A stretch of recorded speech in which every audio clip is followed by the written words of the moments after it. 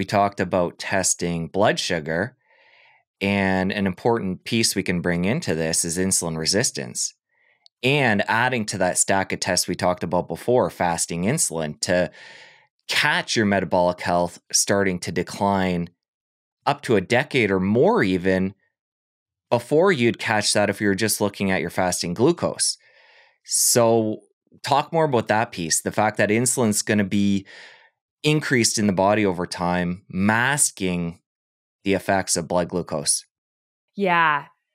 So this gets into really like sort of the next layer of metabolic testing, which, you know, we talked about the first six or so tests in the very beginning of the episode, which I just feel like from an accessibility cost and importance value, like level, we should all know where we stand on those glucose, triglycerides, HDL, et cetera.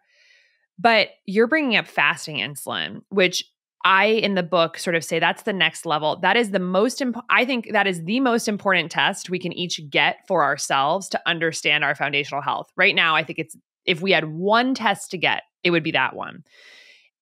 The reason it's not in my first 6 that I mention is because it's harder to get because a lot of doctors are just like, no, we're not going to order that for you. You're young and healthy. We, that's not done in standard practice, which is just one of the biggest problems in healthcare. So, but if you can get it through a direct to consumer company, lab testing company, or your doctor will order it, get it.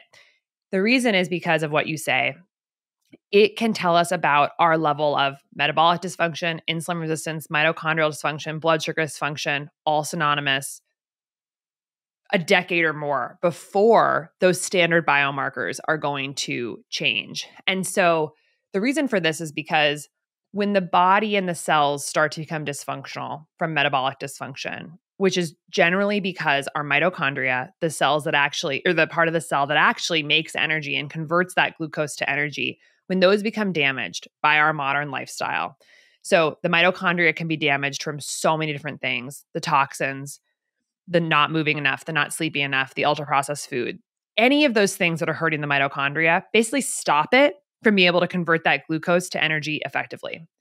And when that happens, the cell is going to be like, hey, the mitochondria is not working great. So we can't really take in more glucose to process to energy because the mitochondria is hurt by this modern environment we're living in. So it blocks glucose from coming into the cell and it does that through insulin resistance. So the cell says, we're going to block the pathway that allows the insulin signal to come in and tell the glucose to basically be allowed into the cell because we can't process it. So you get insulin resistance because of the mitochondrial dysfunction. And then the body's like, yeah, okay, we understand that you can't take in the glucose, but we can't have this glucose just floating around in the bloodstream all the time because that's damaging too. So we're going to secrete more insulin to try and force the glucose into the cell.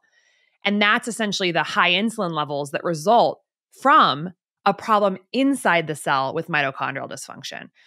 So these insulin levels rise very early in this process, which are essentially a sign that the cell is overwhelmed and capacity is low to make energy. And it actually works for a while. That high insulin drives glucose into the cell. And so the blood glucose levels can look fairly normal for like a decade before the whole thing totally goes off the rails and the body can't overcompensate with high insulin levels anymore. And then you see both glucose and insulin levels high. So you basically step one is mitochondrial dysfunction. Step two is insulin resistance leading to high insulin levels, but glucose stays normal. And step three, far down the road of metabolic dysfunction, is both insulin levels and glucose levels are high in the blood. So you want to catch this at level two, which is why you need to get a fasting insulin test. And in the book, I talk about how the range for fasting insulin that we really want to shoot for is about between like two and five, two and six milliIUs per milliliter. But what's crazy is that on the lab slip, it will often say that like less than 25 is normal for insulin. But when you actually look at the research, we want it to be much lower than that. If your insulin levels are already up to 25, that's actually a sign that your body's pushing out a lot of insulin, which may indicate essentially a problem with metabolic dysfunction already brewing. So we want that number low and tight. We want a low and healthy amount of insulin, which is a clear sign to us that our cells are not putting up an insulin resistant block. And so an example I give in the book that I think really illustrates this is like if you and I, Jesse, both went in and got our blood sugar taken, and both of us came back with a blood sugar level of 85 milligrams per deciliter, both of our doctors would look at us in the eye and say, You're doing great. Your blood sugar's in a great range. Congratulations. And you go home. But if my insulin level, which wasn't checked, is 30 and yours is two, we are basically very biologically different, but we don't know that because we didn't test the fasting insulin. So if my fasting insulin's 30, that means my body is having to pump out 30 milliIUs per milliliter of insulin to drive glucose into the cell to keep it at 85. But you're super metabolically healthy. Your body's only having, having to churn out a small amount of insulin to keep that glucose at 85. So without this additional test, it's really hard to truly know where we stand now, just circling back to the beginning of the episode, let's say you're not able to get this test and your doctor's not going to order it for you. We can look at in those biomarkers, the basic biomarkers we talked about, the triglycerides, HDL, waist circumference, blood pressure, fasting glucose. What we'll often see with insulin resistance brewing is that triglycerides start to rise and HDL starts to go down and blood pressure starts to go up.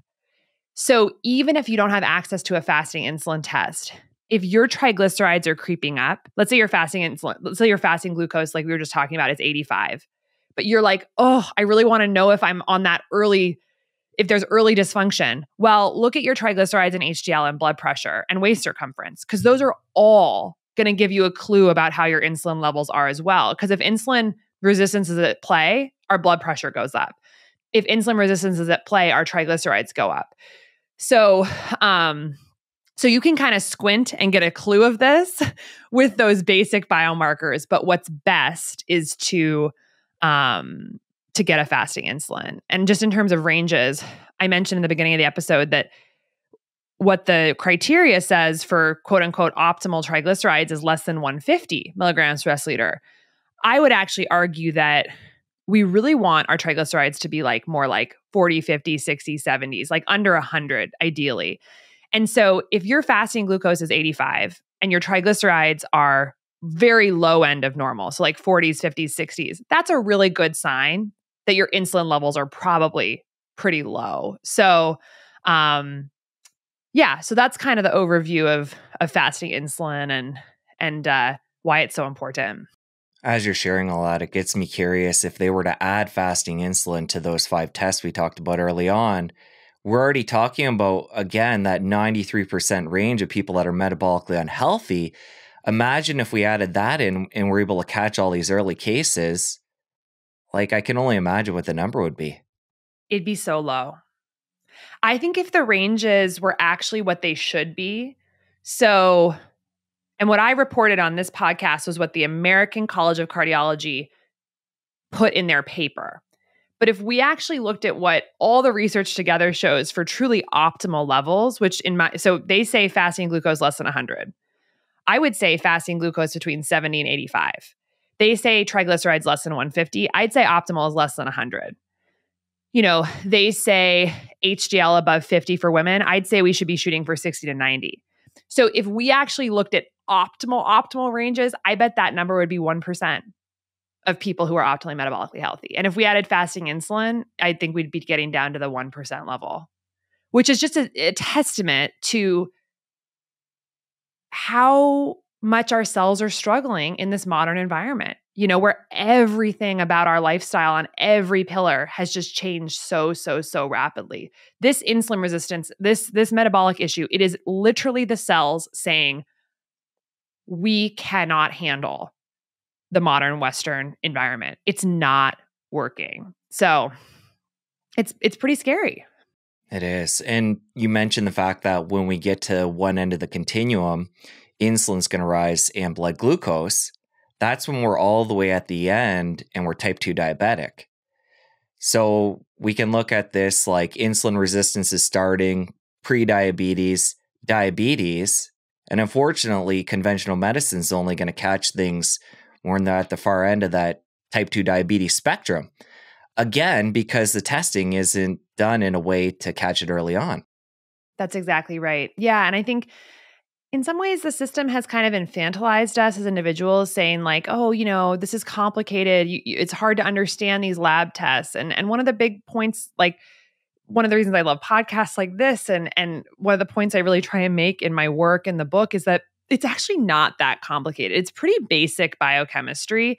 And i actually think that everyone including teens can like understand what we're talking about right now you know? And like you know and it's like we we kind of have the responsibility now to understand 10 15 biomarkers and what they actually mean about our cellular health because we kind of just have to. Like it's like the system's not reading the tea leaves of our tests for us the way our doctors unfortunately like and i'm speaking as a doctor are trained is you see a list of lab results and they're either in the they either there's a like they're either red or green. It's like very algorithmic this one's off. This one's not. This one's off. This one's not.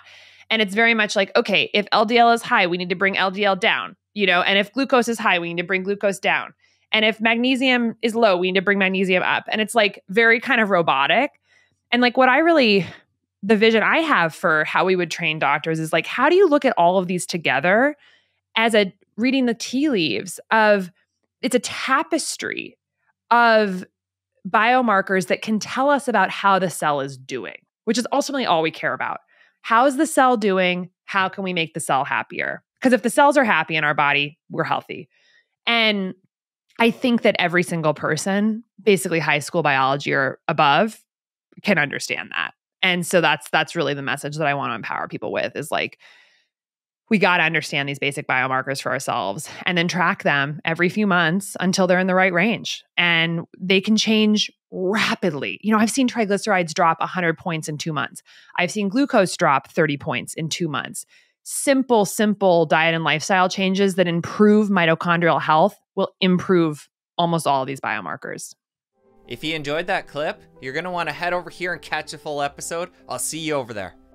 Everyone needs to care about this because metabolism and metabolic health, it is the core foundational layer that all health is built upon. That is the biggest blind spot in Western.